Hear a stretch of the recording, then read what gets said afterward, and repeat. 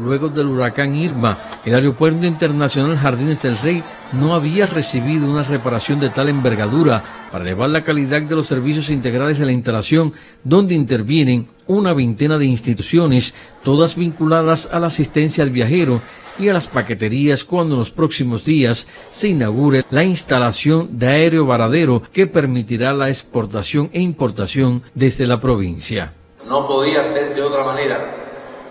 que asegurar que este aeropuerto volviera a convertirse en ese aeropuerto que fue cuando terminó inaugurado el 26 de diciembre del año 2002. Pero incluso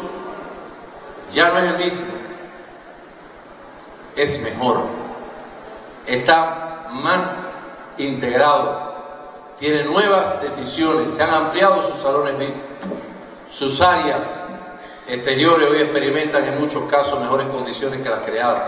El desempeño en los últimos años de labor hizo merecedor al colectivo de la condición de vanguardia nacional, bandera que recibió de las manos de la máxima dirección del partido, el gobierno y la CTC en la provincia, momento que fue propicio para reconocer el apoyo de las brigadas de las terminales Antonio Maceo de Santiago de Cuba, Juan Gualberto Gómez de Varadero, Ignacio Aramonte de Camagüey, Fran País de Holguín. Osvaldo Sánchez Naranjo, Canal Cubano de Noticias.